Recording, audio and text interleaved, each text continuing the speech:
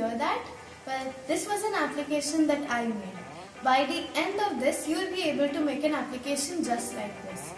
So, my name is Akshitha and I am from grade 8. First things first. First you have to log on to www.stemdesi.in. Once you log in, you'll find you have to rename you have to name your project and start a new project. So once you are done with that, you'll find a screen like this. There are five sections, palette, viewer, components, properties and media. So to build this project, First we have to drag and from the user interface we have to drag and drop a text box and a button which we have to rename as speak in properties and components. Then second you have to go on media and drag and drop text to speech. But you will not be able to see it in the mobile section as it is a non-visible component. It will be visible under the mobile screen. So next. You have to go on to blocks for the programming the real programming. So for that first you have to drag and drop an event handler. When speak dot click from the speak button which is here.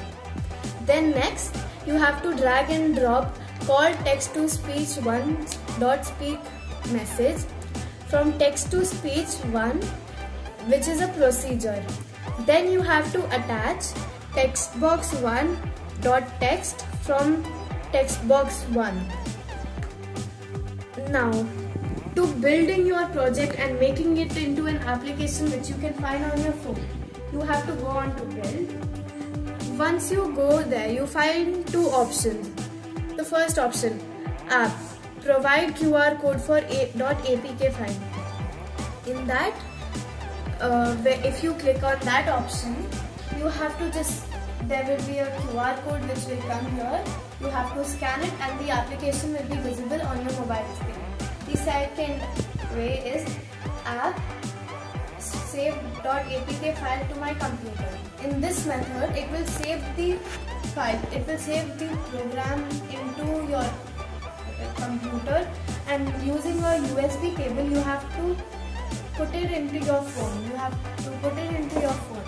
And once you are done with that, your application will be ready to use and when you type anything, like I'll type hello it will speak. Hello. You type anything. Good. Good morning. You're done. Thank you.